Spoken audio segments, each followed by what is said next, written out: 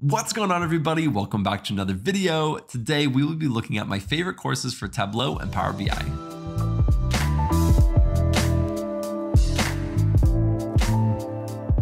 Now before we get into today's video, I wanna give a huge shout out to today's sponsor and that is Udemy.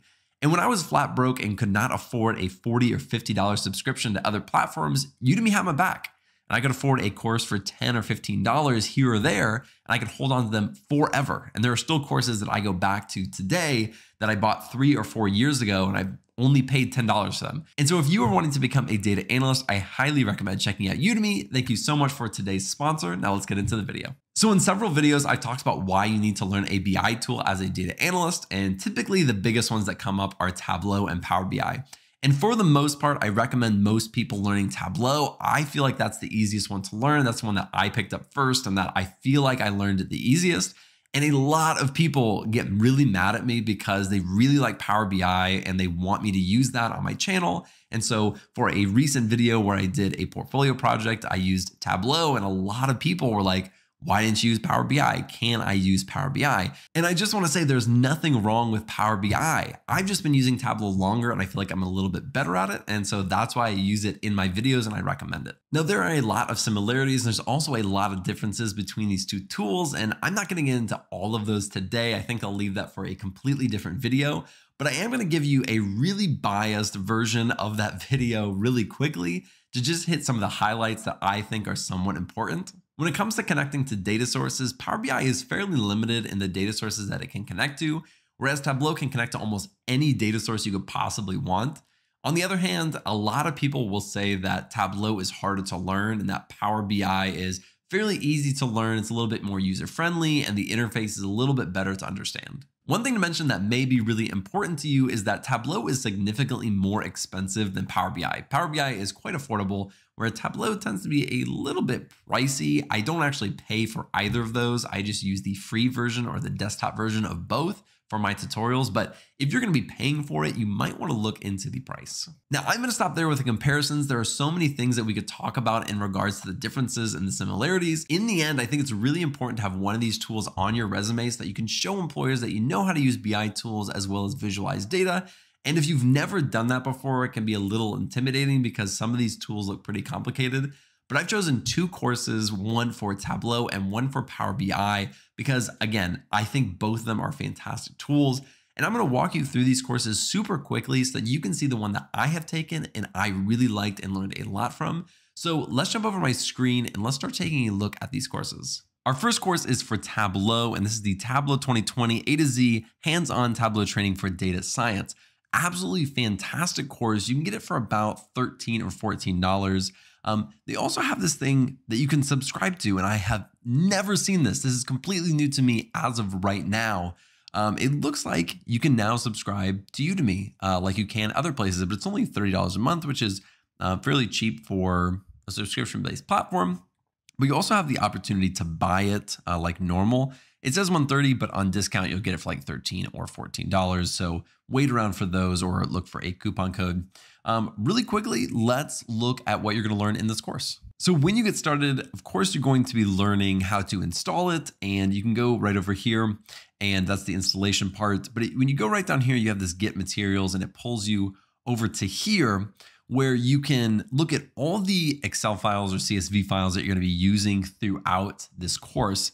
Um, and a lot of these I use for like personal projects because I didn't know where to get data sets at the time. And so I used a lot of these.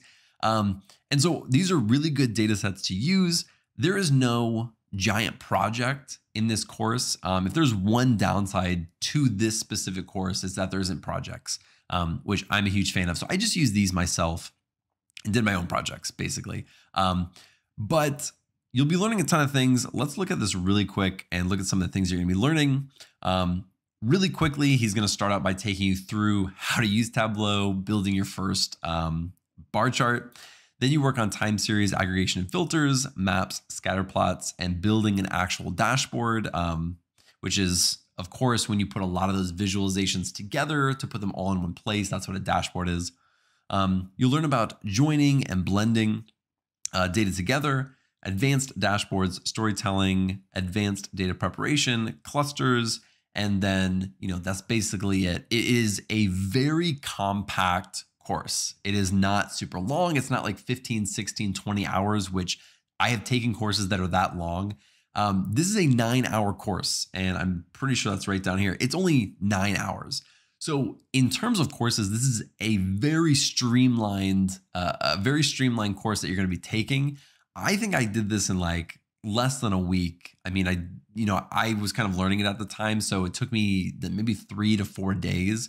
Um, but I just like blew through this and I think it really caught me up to speed really quickly.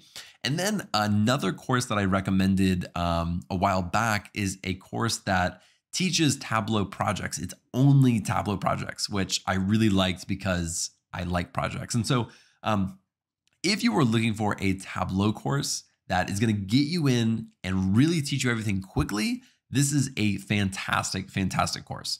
The course for Power BI that I recommend is the Microsoft Power BI Desktop for Business Intelligence. Again, you can subscribe and have it under that subscription um, and free for seven days if you want to do that. Or you can buy it. Again, don't buy it for the full price. Wait for a sale or look for a coupon code and apply that. I took this one not too long ago. Um, I have not been using Power BI in my job at all um, or at least not that much because I work on the ETL side of things. But I recently had a project where I kind of needed to use it a little bit. And so this was a course that I really had been wanting to take. And so I kind of justified my taking it. Um, I learned so much from it. And one of my favorite things that I like about this one, it is still short, just like the Tableau one, but this one has a complete project at the end. And so let's go into the course and see what you're actually going to be learning. Of course, at the beginning, they're going to show you how to install it. Um, what we're looking at is actually the course project. So what you're seeing on your screen is what you're going to be building at the end. And this was really, really good for me because I had never really built a full-fledged dashboard in Power BI. I've done all of that in Tableau, and it's a little bit different how it all comes together. So it's really nice to be able to have a project at the end of that. Um, at least I really like that. So that's something that you're going to get you're going to be learning how to connect to the data, create relationships, and build the data models. You're going to be using and analyzing the data with DAX. Now, what is DAX? Let's just go over to Google and I'm just going to read off the description because honestly, I don't think I'd do it justice if I just kind of described what it was. But DAX is a programming language that is used throughout Microsoft Power BI for creating calculated columns, measures, and custom tables. It is a collection of functions, operators, and constants that can be used in a formula or expression to calculate and return one or more values. Um, so in a really, really quick abbreviated version of what that is, it's the programming language that Microsoft Power BI uses. Something I get asked a lot is, do I need to learn DAX if I'm using Power BI? My answer typically is you don't have to, but I think as you get more advanced, it is really good to know how to use that. Um, for what I need it for and what I use it for, I don't really use DAX. Um, I learned a ton throughout this course, but I don't really use it in my actual job. And so, um, you know, I think it's worth learning as you get more advanced. And if you actually get a Power BI job where you're using it a ton, you know, you probably should learn it. Um, so, anyways, yeah, there's like three hours in there. So you will absolutely learn it in this course. Of course, you're going to be looking how to visualize the data uh, with Power BI reports. They have this new artificial intelligence. I think they added it after I took that because I that was not there um, when I was taking it. And then, of course, they're going to show you how to actually build the visualization, build this dashboard that you can see right up here. Um, I really just think that this is a fantastic, fantastic course. It's done by Maven Analytics. Um, I believe that's who does it. I don't, I don't think I can go and verify down here, but the people who do this are really good overall, I think that if you were looking for a course to teach you Power BI, this would be the first one that I would go to, especially because you get that project at the end. In the end, I think both of those courses are fantastic options. And if you are really confused at which one you should be taking, I really think that you should look around at your domain and see if there's a certain type of BI tool that's typically used. Is Microsoft Power BI being used a lot or is Tableau being used a lot? And I would go for that one. Or if you're already working at a place that uses one of those tools, I would learn that one. I wouldn't learn Tableau if you're currently at a job that uses Microsoft Power BI. So take a look at those things, think about which one would be best for you, and then choose a course and just go for it and start learning. You really can't make a wrong choice when choosing between these BI tools. They are both fantastic options and they both have their place in the market. And so the biggest thing that you can do is just to choose one, get started, start learning, and then start to build out those dashboards that you can eventually add to your portfolio. Thank you guys so much for watching. I really appreciate it. If you like this video, be sure to like and subscribe below, and I'll see you in the next video.